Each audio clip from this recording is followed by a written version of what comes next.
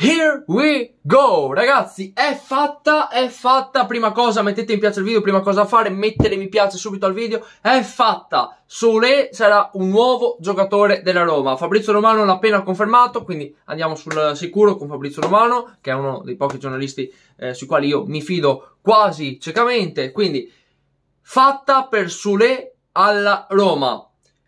L'importo sarà pari a 26 milioni di euro, parte fissa più 2 milioni di bonus parte, eh, cioè bonus facilmente raggiungibili, più altri due difficilmente raggiungibili, più un 10% sulla futura rivendita. E io sento già, sento già le polemiche, sento già le polemiche, le proteste, le contestazioni. Io non credo di fare video sul, sull'ufficialità di queste due eh, di questi due affari, se li faccio adesso poi eh, nel caso in cui dovessero ufficializzarli e dovessero essere queste le cifre ovviamente, perché alla fine eh, cioè, il voto della loro carriera alla Juventus, sia di Sule sia di Uisen, sarebbe senza voto di fatto, no? Quindi non sto neanche qua a rifare il video nel caso.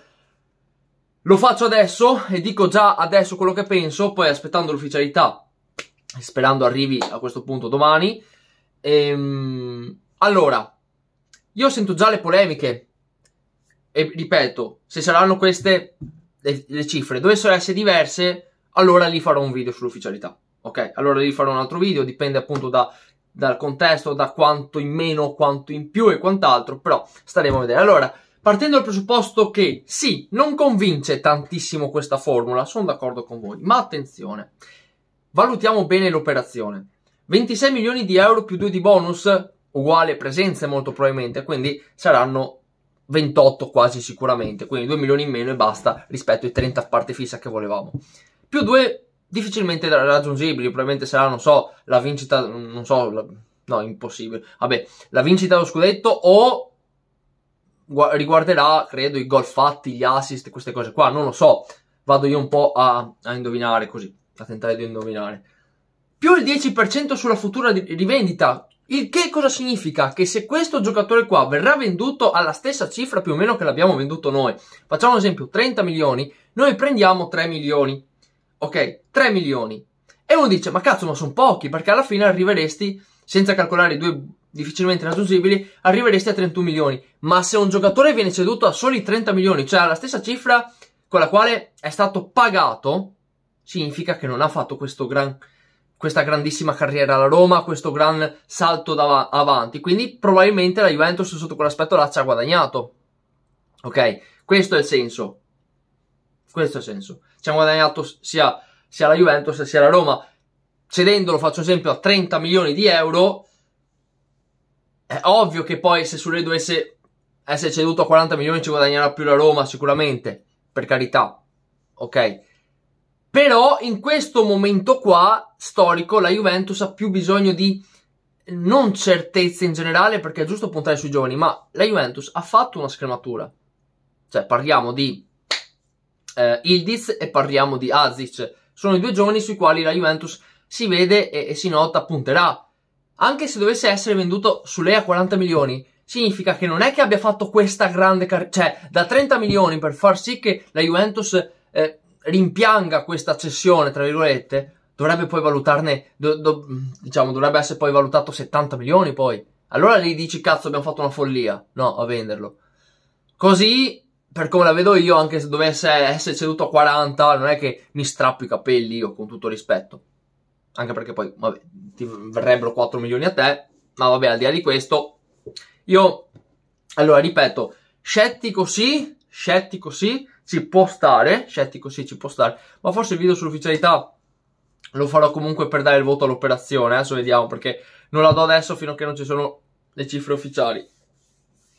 E scettico sì, ci può stare, ci può stare essere, scettici perché non siamo arrivati a 30 fissi, non ci siamo piegati a 90 però, siamo arrivati a un compromesso, cioè piegarsi a 90 significa loro ti offrono 25 più 4 di bonus, tu accetti. Ok, punto. Invece sono andati, loro hanno alzato di un milione in più, più 2 milioni eh, di bonus facilmente raggiungibili e si è arrivati a una metà via. Ripeto, per un giocatore che secondo me lo state pompando più di quanto vale.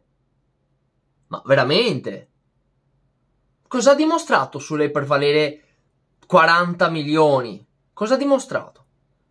Cioè, sarebbe stata un'operazione da 10 l'avesse ceduto per 40 milioni, eh. Io l'ho detto sin dall'inizio, fin da qualche mese fa, per me su lei se lo, lo riuscirai a vendere anche a soli 30 milioni, per me sarà un grande affare. Ma per chi seguiva le nostre live, nostri, i miei video, lo sa benissimo cosa dicevo di Sule. Quindi questo è, è il quanto. Comunque, affare fatto, 26 milioni di parte fissa, più 2 di bonus facilmente raggiungibili, più 2 di bonus difficilmente raggiungibili, più un 10% sulla futura rivendita del giocatore da parte della Roma. Questo è l'affare appunto che si è eh, venuto a concludere, che hanno trovato l'accordo in serata. Tra l'altro anche qua faccio il video stamattina dove sollecito sulle e Usen e avevo detto, cos'è che avevo detto? Per me qualcosa, un'accelerata ci sarà in giornata, così è stato, eh, sono contento di questo. Eh, però alla fine ogni volta che faccio video prima con Rabiot, con, uh, con gli sponsor che mi sono comprato la con altre robe, no? Poi accelerano il giorno dopo o il giorno stesso. Vabbè, meglio così, meglio così. Eh, adesso speriamo che con questi soldi si vada poi a fare l'affondo definitivo per Coop Miners. Eh, ripeto, un giocatore che a me non piace, non, non, è che non mi dice niente, ok, ma se lo vuole Motta, perché per lui è fondamentale per il gioco che vorrà andare a fare. Io ascolto Motta. Punto poi, dovesse fare male, si criticherà anche Motta che ha scelto quel giocatore là, eh, attenzione, perché da questa parte c'è onestà intellettuale a differenza che da altre parti, quindi, attenzione.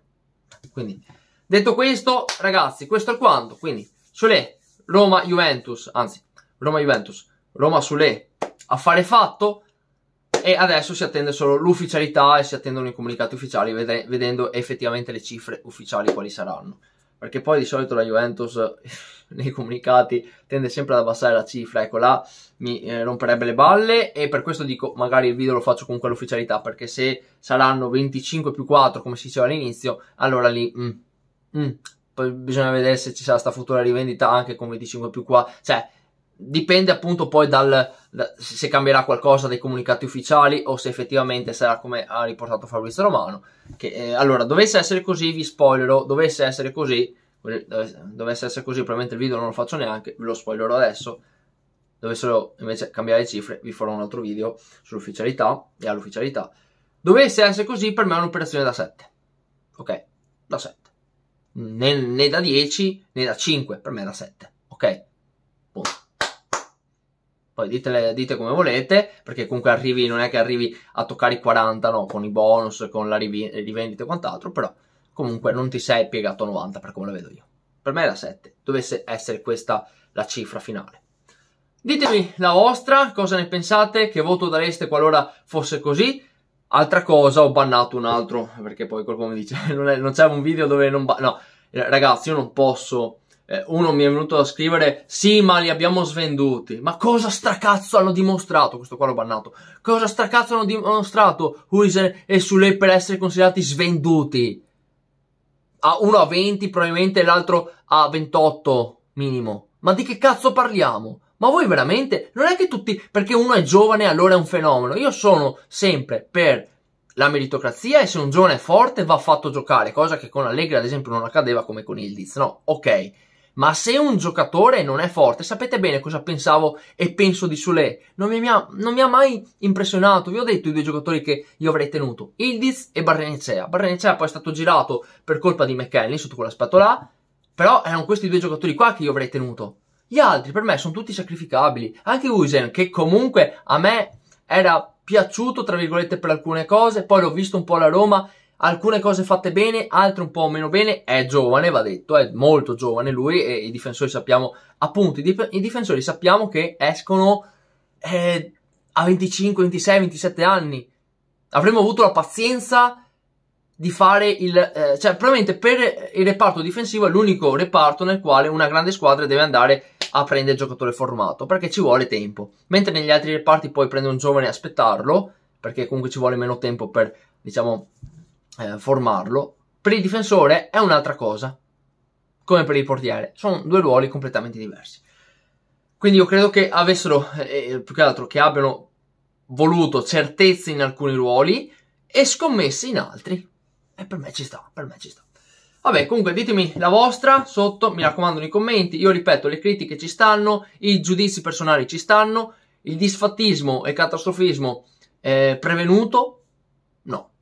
Quelli li banno. Ripeto, ci sono altri canali dove si fa finta di essere, nei quali si fa finta di essere Juventini per sparare merda alla, contro la Juventus, qualsiasi roba che fa la Juventus, qualsiasi roba che farà Tiago Motta, perché il loro amore Allegri se n'è andato ed è stato cacciato giustamente da Giuntoli già da febbraio, gli stava remando conto e ci mancherebbe anche altro. Solo per questo andate in quei canali là dove si spara merda dalla mattina alla, alla sera, peggio dei canali, dei, dei peggiori canali anti-juventini che troviamo su YouTube.